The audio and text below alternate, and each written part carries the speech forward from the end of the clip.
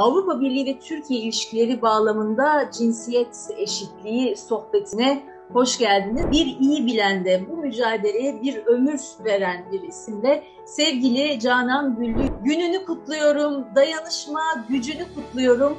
Hoş geldin, iyi ki varsın. Zorlu, e, güçlü ama e, umutsuz olmayan bir mücadele. Bu toplumsal cinsiyet eşitliği konusu hele hele Avrupa Birliği'nin bu konudaki çabası, gayreti. Sonuna kadar da yaşatır diye arkasında durduğumuz bir sözleşme var, İstanbul Sözleşmesi. Avrupa Birliği'nin de e, ajandasında olan şiddetsiz bir Avrupa'yı nasıl yaratabilir? Nedir İstanbul Sözleşmesi'nin ana felsefesi? Zaten şiddetin kendi de insan hakları ihlali değil mi? Toplumsal cinsiyet eşitliği kadınların yasalardan eşit şekilde yararlanması. Avrupa Birliği'nin de üçüncüsünü açıkladığı toplumsal cinsiyet eşitliği eylem planını Avrupa Birliği Türkiye Delegasyonu. Edirne Haber Bilgi Merkezi.